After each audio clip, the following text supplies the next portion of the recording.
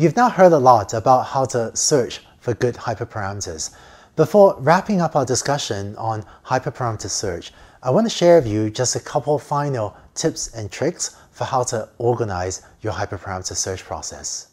Deep learning today is applied to many different application areas and that intuitions about hyperparameter settings from one application area may or may not transfer to a different one. There is a lot of cross-fertilization among different applications domains. So for example, I've seen ideas developed in the computer vision community such as ConvNets or ResNets, which we'll talk about in a uh, later course, successfully applied to speech. And I've seen ideas that were first developed in speech successfully applied in NLP and so on.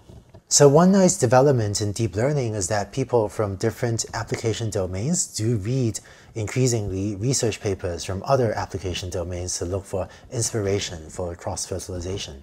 In terms of your setting for the hyperparameters though, I've seen that intuitions do get stale. So even if you work on just one problem, say logistics, you might have found a good setting for the hyperparameters and kept on developing your algorithm or maybe seeing your data gradually change over a course of several months or maybe just upgraded the servers in your data center. And because of those changes, the best setting of your hyperparameters can get stale. So I recommend maybe just retesting or re-evaluating your hyperparameters at least once every several months to make sure that you're still happy with the values you have. Finally, in terms of how people go about searching for hyperparameters, I see maybe two major schools of thought or maybe two major different ways in which people go about it.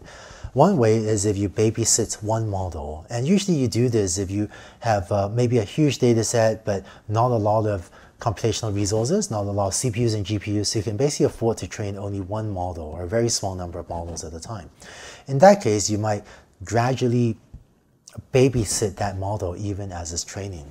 So for example, on day zero, you might initialize your parameters as random and then start training. And you gradually watch you know, your learning uh, curve, maybe the cost function j or your dev set error or something else gradually decrease over the first day. Then at the end of day one, you might say, gee, it looks like it's learning quite well. I'm going to try increasing the learning rate a little bit and see how it does. And then maybe does better and that's your day two performance. And after two days, you say, oh, okay, still doing quite well. Maybe I'll further the momentum term a bit or decrease the learning rate a little bit now. And then you're now into day three.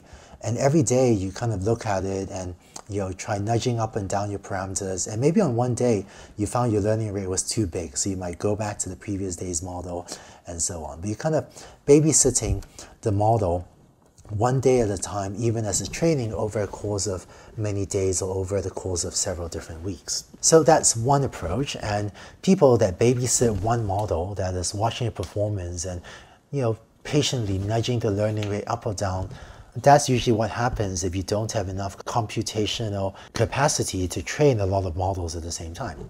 The other approach would be if you train many models in parallel.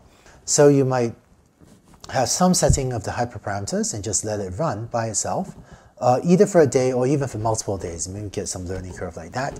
And this could be a plot of the cost function j or cost of your training error or cost of your dev set error, but some metric that you're tracking. And then at the same time, you might start up a different model with a different setting of the hyperparameters. And so your second model might generate a different learning curve, maybe one that looks like that, or looks like that one looks better. And at the same time, you might train a third model, which might generate a learning curve that looks like that. And another one that maybe this one diverges, so it looks like that, and so on. But you might train many different models in parallel, where these orange lines are different models right? And so this way you can try a lot of different hyperparameter settings and then just maybe quickly at the end pick the one that works best. Looks like in this example it was uh, maybe this curve that looked best. So to make an analogy, I'm going to call the approach on the left the panda approach. You know, when pandas have children, they have very few children, usually one child at a time, and then they really put a lot of effort into making sure that the baby panda survives. So that's really babysitting, you know, one model or one baby panda. Whereas the approach on the right is more like what um, fish do. I'm going to call this the caviar strategy. There's some fish that lay over 100 million eggs in one season, in one mating season. But the way fish reproduce is they lay a lot of eggs and don't pay too much attention to any one of them, but you know, just see that hopefully one of them uh, or maybe a bunch of them will do well. So I guess this is really the difference between how uh, mammals reproduce versus how fish and a lot of reptiles reproduce. But I'm going to call it the panda approach versus the caviar approach since that's more fun and memorable. So the way to choose between these two approaches is really a function of how much computational resources you have. If you have enough computers to train a lot of models in parallel, then by all means take the caviar approach and try a lot of different hyperparameters and see what works. But in some application domains, I see this in some online advertising settings as well as in some computer vision applications where there's just so much data and the models you want to train are so big that it's difficult to train a lot of models at the same time.